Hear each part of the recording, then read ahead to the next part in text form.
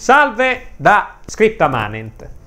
Quella che stiamo vedendo è Trafalgar Square, cioè una delle piazze principali, più belle, più storiche di Londra, che ancora oggi, dopo decenni, testimonia una delle più grandi vittorie sul mare della Marina britannica. Quindi vedremo la battaglia di Trafalgar perché innanzitutto le battaglie sul mare sono tra le più belle in assoluto da vedere e da ricordare. Poi ci sarà tanta strategia, eh, per i mari di tutto il mondo, ci sarà un elevato e raffinato pensiero tattico e poi dei momenti veramente da film, compresa la eroica e straziante morte di Orazio Nelson. Quindi mettetevi comodi e cominciamo questo documentario perché parleremo di una grande storica battaglia che merita di essere ricordata per sempre.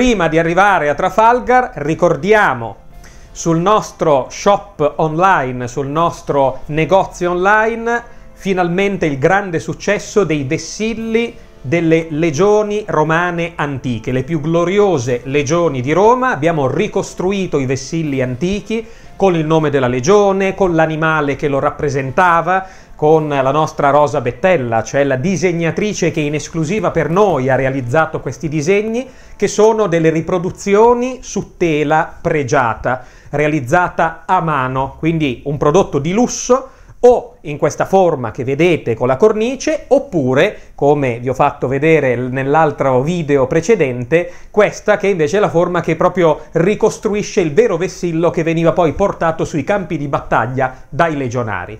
Quindi sul nostro portale scoprite i vessilli dell'antica Roma, scoprite il vostro vessillo della legione preferito e ordinatelo per averlo in pochi giorni a casa vostra.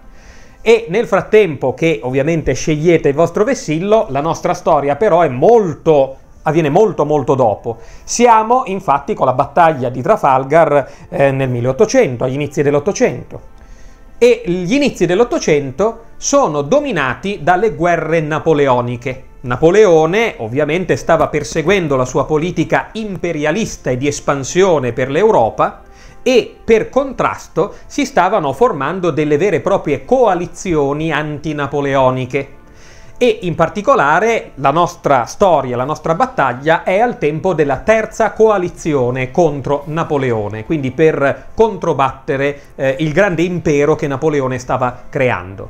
Qui i nostri due contendenti sono ovviamente la Francia e la Gran Bretagna, che erano nuovamente in guerra. E qua notiamo subito che abbiamo due imperi molto potenti, la Francia guidata da Napoleone, quindi al massimo della sua forza e della sua potenza militare, e la Gran Bretagna che è principale, eh, il principale antagonista sui mari della Francia.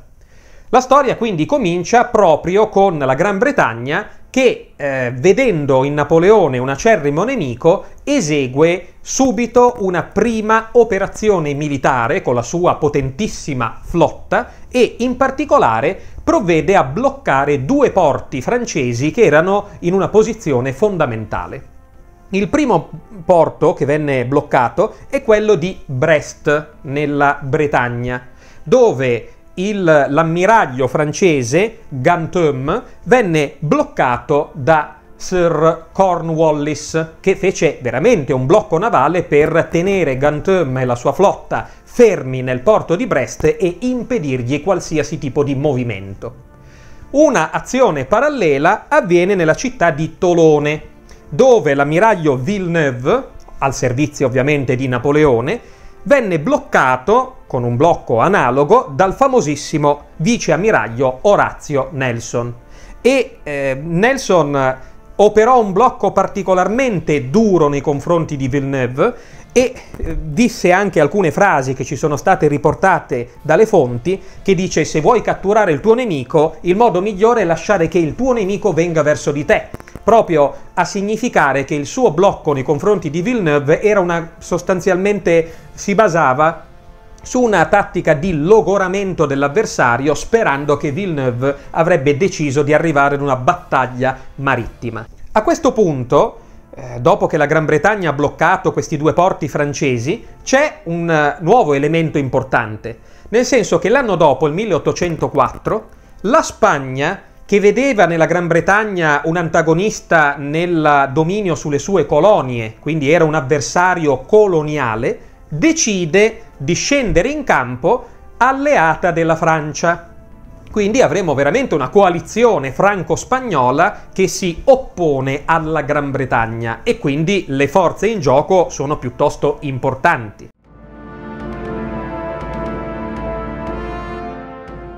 Napoleone è costretto a pensare a un piano non solo per disinnescare questa eh, situazione contro la Gran Bretagna, ma anche per programmare la invasione della Gran Bretagna. E che cosa prevede il piano di Napoleone? Prevede che l'ammiraglio Villeneuve, che viene tenuto fermo sotto scacco a Tolosa da Orazio Nelson, improvvisamente forzi il blocco imposto da Nelson e si diriga però nelle Indie occidentali, che è il nome antico con cui si chiamavano le isole del Mar dei Caraibi lui deve raggiungere le Indie occidentali, deve raggiungere il Mar dei Caraibi e attaccare le colonie inglesi che sono in, quella, in quell'area, in quella porzione. La stessa identica cosa dovrebbe fare Gantum. Dovrebbe forzare il blocco di Cornwallis e raggiungere anche lui con la sua flotta le Indie occidentali, attaccando le colonie inglesi. Perché? perché in questo modo la flotta inglese sarebbe stata deviata verso le Indie occidentali e quindi la forza della marina britannica sarebbe stata distratta in questa zona del mondo. Al che, dopo circa due mesi di combattimenti, era il tempo previsto da Napoleone, sia Villeneuve che Gantum avrebbero dovuto immediatamente fare ritorno in Francia e in Spagna, liberare gli ultimi porti francesi dai residui dei blocchi britannici, attraversare lo stretto della Manica e invadere la Gran Bretagna. E nel frattempo che tutti questi movimenti si stavano organizzando, Napoleone iniziò ad ammassare 161.000 soldati sulla costa dello stretto della Manica, proprio per caricarli sulle navi e permettergli poi di sbarcare in Gran Bretagna e di invadere il paese. Questo è il grande piano di guerra, il grande piano di Napoleone per superare il blocco della Gran Bretagna e contrattaccare in una invasione in piena regola.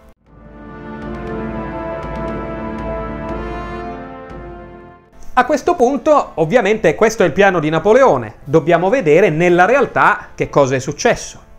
Allora, Napoleone dà quest'ordine e i suoi ammiragli eseguono.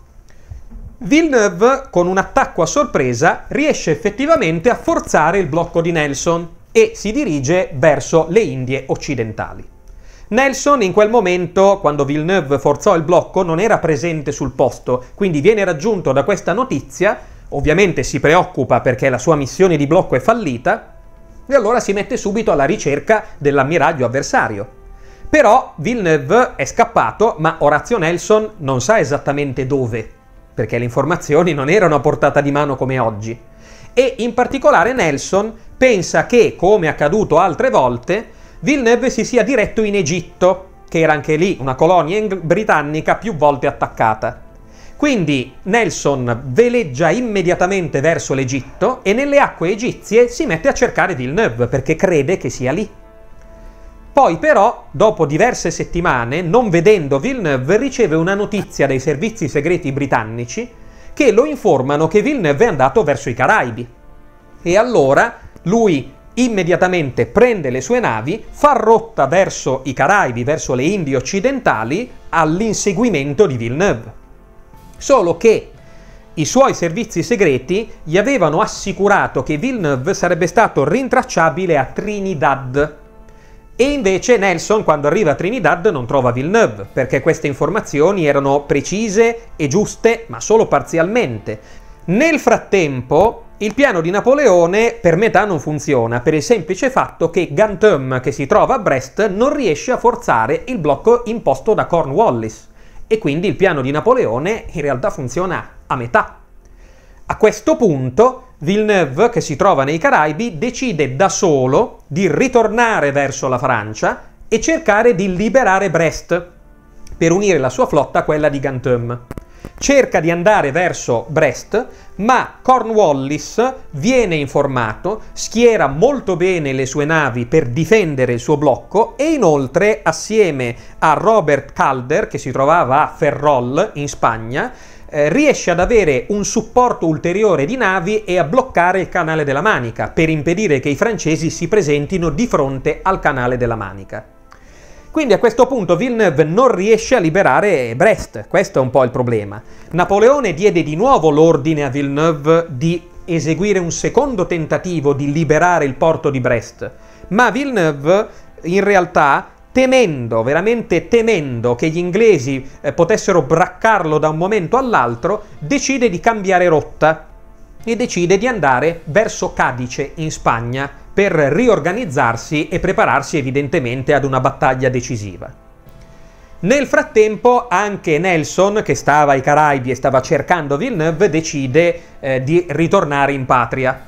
Riorganizza la sua flotta, fa una nuova leva di marinai di alto livello e nel 1804 riceve la notizia che Villeneuve si trova presso Cadice e quindi decide di inseguirlo immediatamente per giungere a quella battaglia navale che lui sta cercando, quindi a quella battaglia risolutiva. E quindi Orazio Nelson si avvicina a Cadice per incontrare Villeneuve. E eh, ovviamente la flotta di Nelson lo insegue, lo bracca, lo raggiunge e qui Villeneuve viene costretto alla battaglia contro l'ammiraglio Orazio Nelson.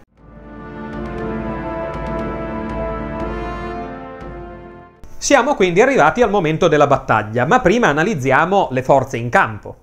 Allora, gli inglesi sono guidati dal vice ammiraglio Orazio Nelson che è a bordo della HMS Victory, che era la nave eh, proprio di Nelson. Gli inglesi hanno una grande flotta, hanno 27 vascelli da guerra, 6 fregate e un totale di 17.000 marinai. Eh, si può dire che la flotta britannica ha un'alta qualità, alta qualità delle imbarcazioni e alta qualità degli uomini. Si tratta di marinai, di ufficiali, addestrati, esperti, pronti al combattimento, quindi sicuramente la flotta britannica eh, ha un buon numero ma soprattutto ha una alta qualità. Dall'altro lato la flotta francese è guidata proprio, l'abbiamo detto, dall'ammiraglio Villeneuve che si trova sulla, mi perdoneranno i francesi la pronuncia, ma la Bouchenteur o Bouchenteur. Eh, comunque si tratta della nave ammiraglia francese e lui ha a disposizione 18 vascelli francesi e 7 fregate alleati dei francesi ci sono gli spagnoli, come abbiamo detto prima. Gli spagnoli, guidati da Federico Gravina, e questo è il nome del generale dell'ammiraglio spagnolo, hanno invece 15 vascelli. E i francesi e gli spagnoli insieme hanno 30.000 uomini. Quindi la coalizione franco-spagnola ha molti più uomini, quindi ha una quantità superiore, leggermente superiore di navi e ben superiore di uomini, ma ha una minore qualità. Molto spesso gli uomini non sono perfettamente addestrati, alcuni ufficiali erano anche degli ufficiali un po' di risulta, eh, che non erano stati impiegati, eh, diciamo, da Napoleone sul continente, quindi la qualità della coalizione franco-spagnola è più bassa rispetto a quella britannica. Quindi ci troviamo effettivamente in questo caso di fronte a uno scontro tra qualità e quantità.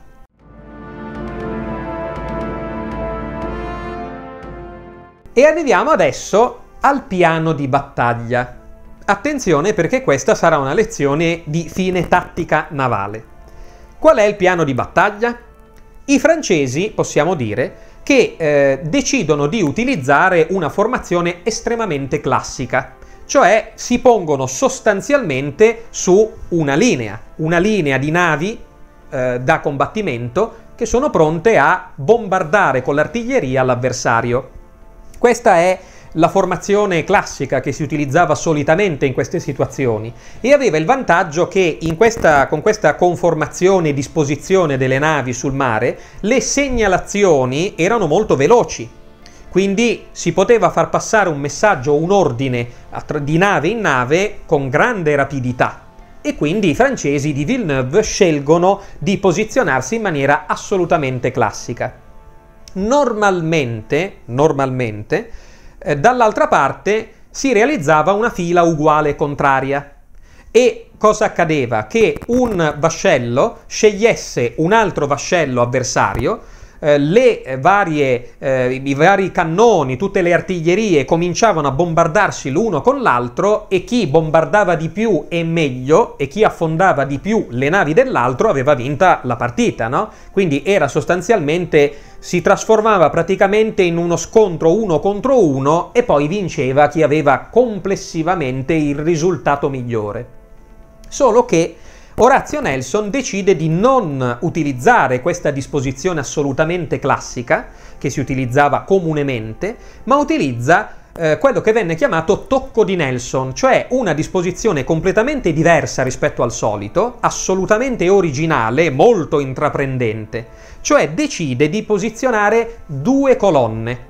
La prima colonna, guidata da lui stesso sulla nave Victory, doveva letteralmente attaccare in maniera perpendicolare il centro dello schieramento francese di Villeneuve.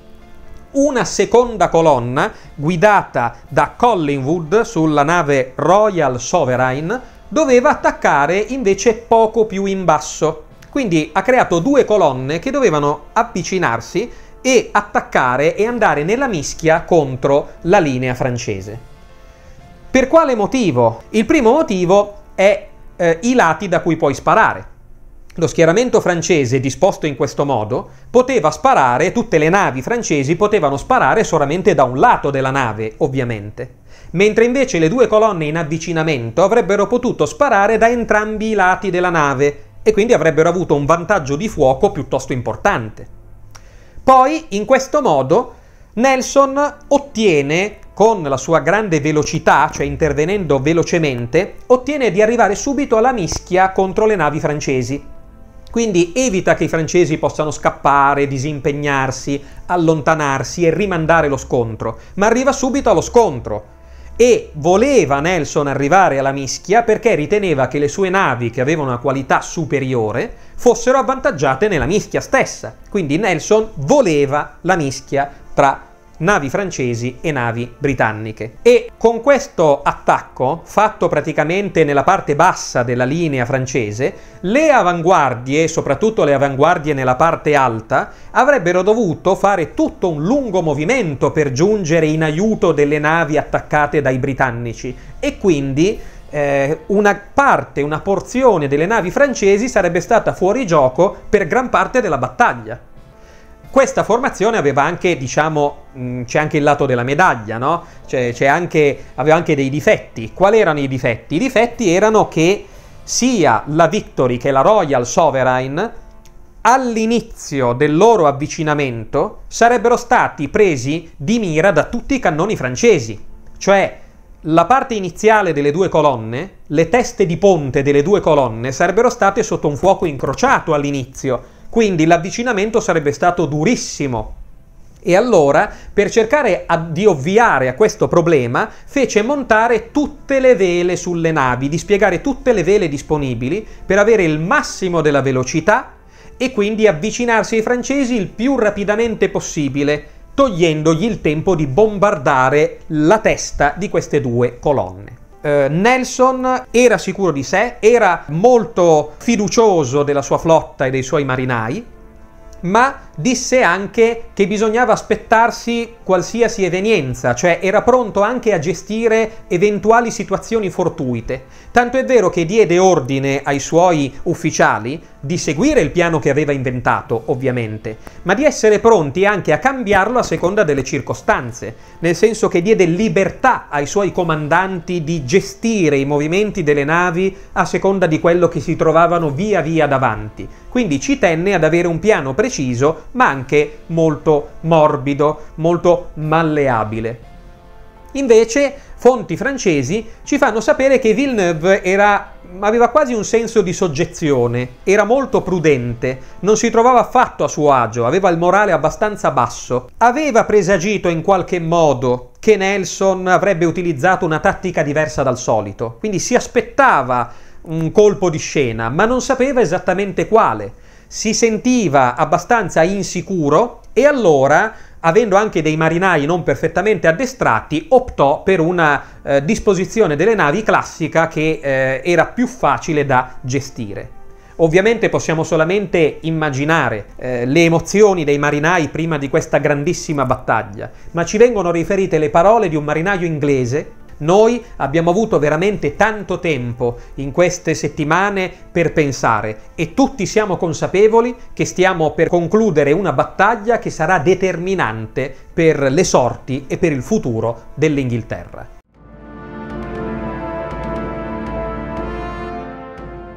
Arriviamo al momento della battaglia.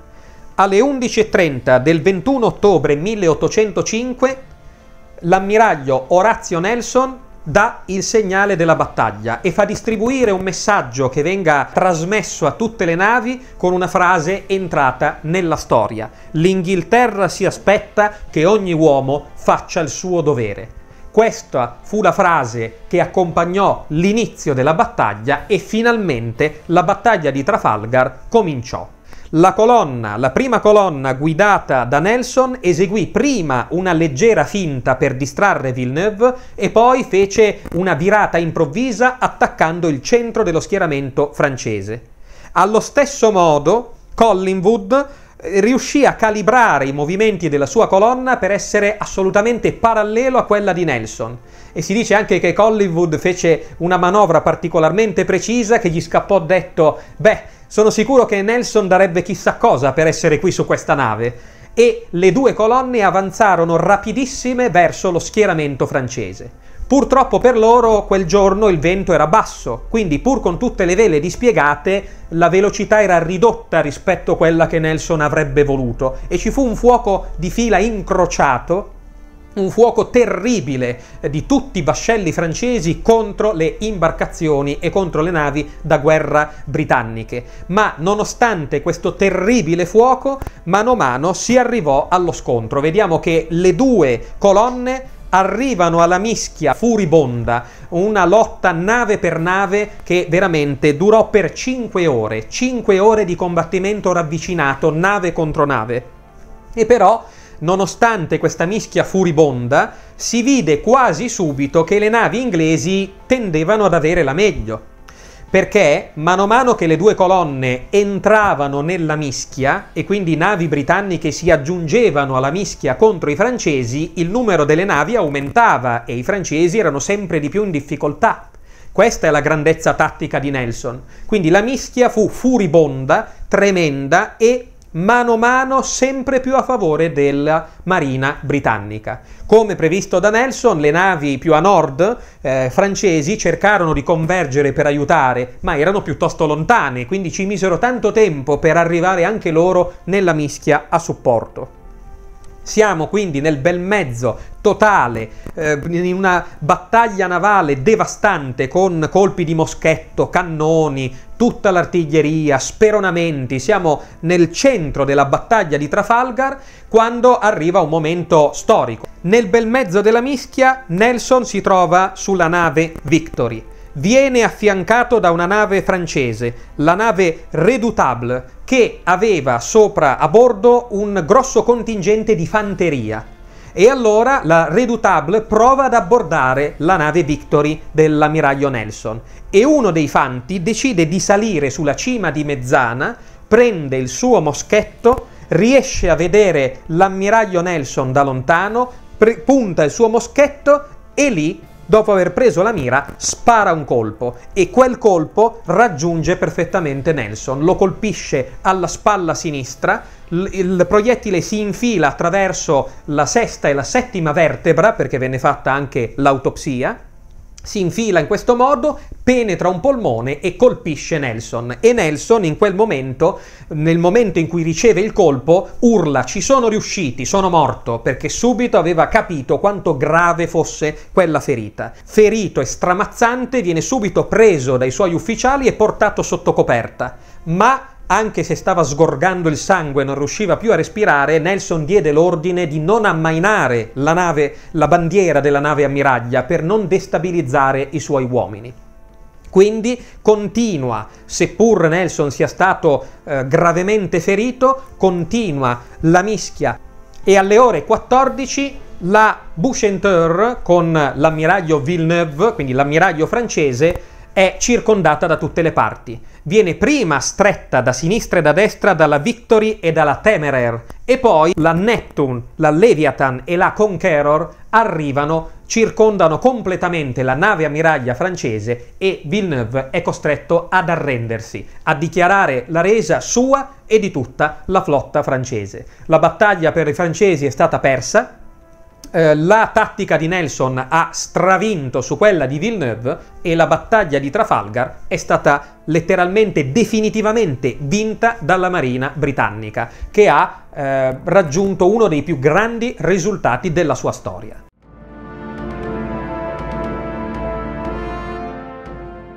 Nell'ambito della battaglia di Trafalgar c'è la drammatica morte dell'ammiraglio Orazio Nelson. Nelson era stato portato sotto coperta perché la ferita subito era apparsa gravissima. Lui riesce ad avere in tempo la notizia della vittoria, quindi sa che la sua flotta ha vinto, però le sue condizioni peggiorano sempre di più. È nel letto sanguinante. Sappiamo che, eh, avendo saputo che si stava avvicinando una tempesta, il suo ultimo ordine fu quello di ancorare le navi, perché non voleva che si sfracellassero ovviamente sugli scogli o finissero in secca, e poi la forza di Nelson, le forze di Nelson cominciarono letteralmente ad abbandonarlo. L'infermiere che eh, seguì Nelson fino all'ultimo, William Bitty, riuscì a registrare la, l'ultima frase dell'ammiraglio, cioè grazie a Dio ho fatto il mio dovere. Dopodiché il polso divenne sempre più debole, cominciò a mormorare, quasi a delirare, si sentirono le ultime parole, probabilmente le parole di una preghiera, eh, che era relativa a Dio, al mio paese, fino a che giunse Alexander Scott, il cappellano che fece l'estrema unzione all'ammiraglio Nelson e così Nelson alle 16.30 di quel giorno morì da vittorioso, ma morì e non ebbe il tempo di vedere la sua flotta e i suoi uomini festeggiare. E tra l'altro venne il suo corpo eh, prelevato e inserito in, una, eh, in, un barile di brandy per essere conservato e poi riportato in patria il prima possibile.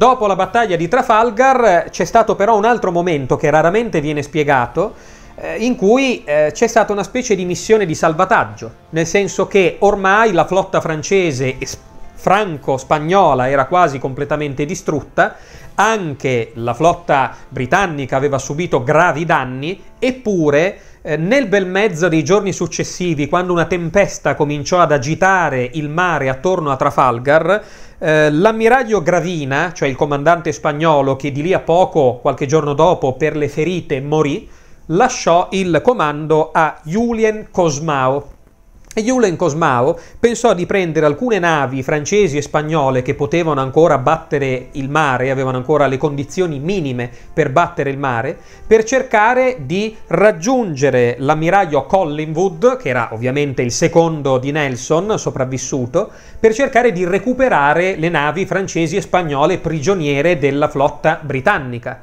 Ci fu questa disperata missione di salvataggio Collingwood si dispiegò anche lui con meno navi rispetto all'inizio in assetto da combattimento, poi quando le due linee si avvicinarono però né eh, Cosmao e neanche Collingwood cominciarono ad utilizzare l'artiglieria perché sapevano che tutte le navi sarebbero colate a picco, sarebbe stato un suicidio, così come le navi ormai erano ridotte. E allora nel bel mezzo della tempesta, col mare alto, col mare grosso, le navi eh, francesi e spagnole cercarono di avvicinarsi alle proprie navi che erano di proprietà ed erano ormai sotto il controllo di Collingwood, di abbordarle oppure di attaccarle, di trascinarle via per recuperare quanto più possibile della grande armata che Villeneuve aveva guidato. In realtà si trattò di una missione quasi inutile, vennero recuperate alcune navi dai francesi e dagli spagnoli al costo di perderne altre, quindi fu veramente eh, un'operazione quasi completamente inutile, eppure fu profondamente stancante. Eh, fu quasi da incubo per Cosmao e per Collingwood, perché nel bel mezzo della tempesta questi combattimenti e queste mosse da parte delle navi furono veramente agghiaccianti, tanto è vero che Collingwood scrisse all'ammiragliato britannico riferendo di questa lotta con eh, i residui francesi e spagnoli, in questa lotta in mezzo alla tempesta, e scrisse in questa settimana è stata talmente pesante, talmente pericolosa in mezzo alla tempesta, che preferirei un'altra battaglia di Trafalgar piuttosto che fare un'altra settimana come quella che ho vissuto. Quindi questo, dopo questo disperato tentativo di recuperare le navi, finisce veramente la battaglia di Trafalgar con la vittoria eh, britannica che avrà grandi effetti sugli equilibri geopolitici del mare nel periodo napoleonico.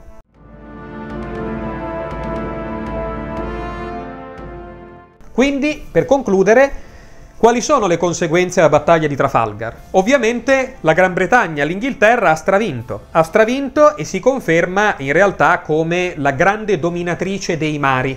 Sarà la più grande potenza navale, almeno fino alla Prima Guerra Mondiale, sarà la più grande potenza navale e i francesi non si permetteranno più di sfidare gli inglesi sul mare.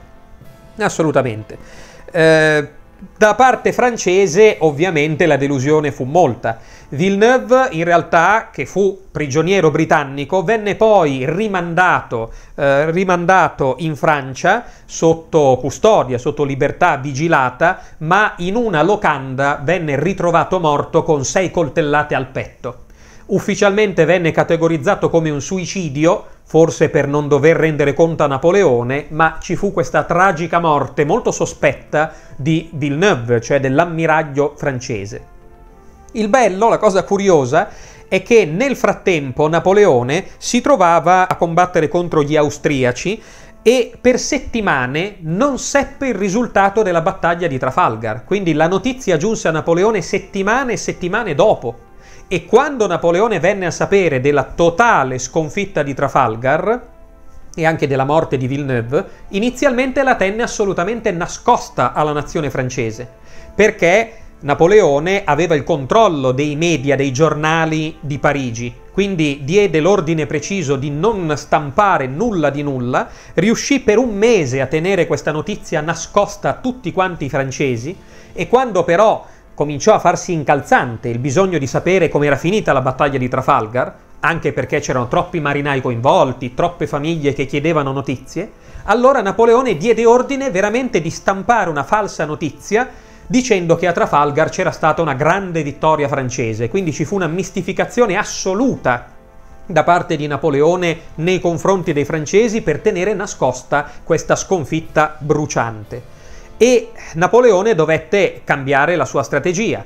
Eh, rinunciò completamente per sempre all'idea di invadere la Gran Bretagna, eh, il suo potere si spostò solo sulle conquiste continentali e in realtà diede ordine di costruire una nuova flotta perché Napoleone voleva poi ritornare con un numero di navi francesi soverchianti rispetto a quelle britanniche, però ehm, questa produzione eh, della marina francese che si stava letteralmente riarmando, poi con la caduta di Napoleone conobbe un momento di arresto, un momento di blocco e quindi mai più la Francia riuscì a programmare una vera e propria invasione della Gran Bretagna. Questa quindi battaglia di Trafalgar e la memoria di Orazio Nelson divennero e sono ancora oggi per tutti gli inglesi qualcosa di leggendario.